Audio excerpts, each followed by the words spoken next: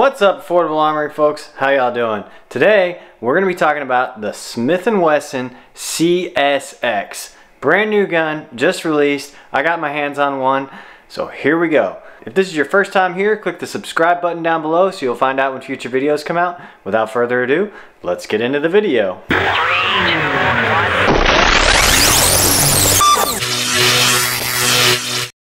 Alright, so let's unbox this thing. You can see you get the blue cardboard box. Alright, let's open it up. And, alright, so here is the bag that the gun is in. Here is the gun itself. Alright, we'll get back to that here in just a second. Alright, so you're to get a chamber plug. To get your standard lock. Alright, and all of your paperwork here. So congratulations on purchasing a gun, blah, blah, blah. Here's your manual, warranty, all that type of stuff. And here is the other magazine. Set that to the side. Here is your spare backstrap. And that's about it for the unboxing. So let's move on to the gun. So here it is, the Smith & Wesson CSX. Alright, I'll remove the magazine. You can see that the gun is unloaded. Alright, that slide forward and we'll press the trigger to lower the hammer. Now, looking at this gun, as far as the grip, you can see um, I can actually get a pretty decent grip on that. I can almost all the way get my pinky on there. So it really feels pretty good in hand. This is the 12 round magazine and you can see it's got a little sleeve and that is what allows it to sit flush with the gun. And then now you can see I can definitely get a full grip on the gun. I really like that. As far as the ergonomics of the gun, uh, you got your standard M&P texturing here. And this backstrap is removable and replaceable with another backstrap that I showed you a minute ago.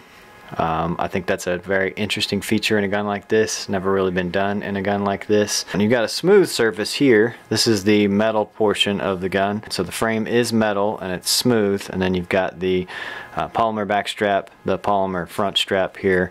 And those both have the typical M&P style texturing on it. It's a little rough, not too rough, um, but it feels good in your hand and then I don't even really notice the smooth portion there. You've got the slide serrations, look pretty good. Uh, those tiny little Smith & Wesson logo there. And it says CSX. You got a nice slide stop lever here and it is very easy to get my thumb on that. I like that a lot. Same with the safety here. Uh, very easy to push that up and down and then we'll flip it over and you'll see that both of those features are on the left side of the gun as well making this gun truly ambidextrous. Now the sights on it are metal and they are three dot white sights. Pretty standard stuff. Um, the thing about this gun is this trigger. I don't know why they chose a pivoting trigger on a gun like this but they did. And it's got the little safety dingus in there. Um, it does feel good putting your finger on there. Like I'm not bothered by that. But let me show you the trigger press. So now I'll show you the trigger press. Alright, hammer is cocked. Put my finger on it. Press and I'm pressing really hard guys. And there, it finally broke. It takes quite a bit of pressure. Um, I don't have a trigger pull gauge to tell you, but I'd say that's maybe eight or nine pounds. I think that's what other people have been measuring too. Uh, it's kind of heavy for a single action gun like this, but um, three, two, one. But pretty cool. Um, there's never really been a double stack mag single action pistol like this before. Uh, the SIG 938 is a single stack gun. The Kimber Micro is a single stack gun. Um, the Springfield 911 single stack gun. All of those are very similar in size and features except for the fact that this is a double stack gun. And this might also be the only one that's ambidextrous. Um, I don't remember if any of those other guns had a safety on both sides of the gun, let alone a slide stop on both sides of the gun. So that's pretty cool. And I'll show you, this is the 10 round magazine. All right, I'll go ahead and insert that in there. And I still can get a pretty solid grip on it. I really like that. This thing actually feels pretty good in hand. Now let's go shoot it and see if that heavy trigger pull is gonna be a problem or if it's okay. Um, and let's just see how it shoots. All right, here we are with the Smith & Wesson CSX. Um, not gonna shoot it a lot, just gonna kind of see how it does. I've got the 12 round magazine loaded up and I've got 10 rounds in it. We're gonna see how it does.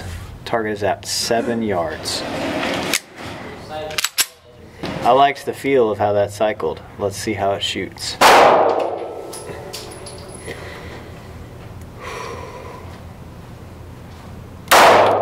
Ooh. Hold that low.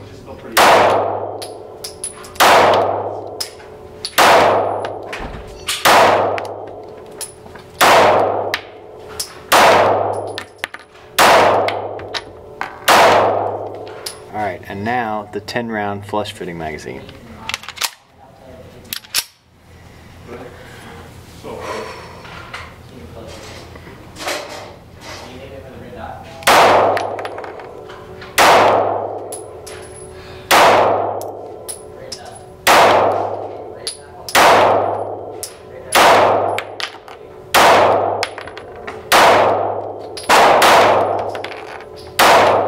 Holy crap, that was awesome.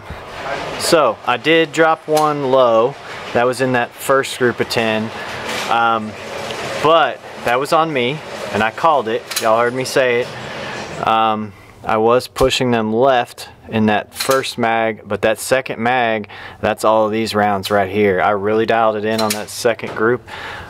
I gotta say, uh, this gun shoots really well, and now I kind of want one. Um, this gun's not mine, but I I gotta say that's really good.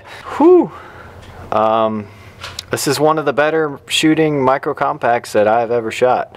And I've shot a lot of them because if you've watched this channel, 365 XL, uh, Hellcat, Taurus GX4, I mean, uh, Glock 43X. I've pretty much shot them all. I've owned most of them. And that is I'm pretty happy about that. Okay, so some thoughts on this gun. First of all, when they announced this gun, I thought, what the heck? Who was asking for this gun, Smith & Wesson? What are you thinking? Then, once I saw it, I was like, oh, you know what? It's kind of like a double stack SIG 938 or Kimber Micro or gun like that. Little hammer fired gun, but now with a double stack magazine. Kind of cool. Kind of the only thing like it on the market. So okay, maybe they saw something that no one else saw and decided to make this gun. Uh, so anyway, as you can see, got my hands on one, shot it. Man, it feels great in my hands. It shot really well. And so if you're looking at this gun, I think it might make a great carry piece. I do have one concern. Now, I did not personally experience this issue. Um, Riders Range did a video on this gun, and if you go watch his video on it, you'll see he had an issue where when he inserted a fully loaded magazine uh, with the slide closed, it would not go in all the way. You'd have to give it a really hard smack for it to go in.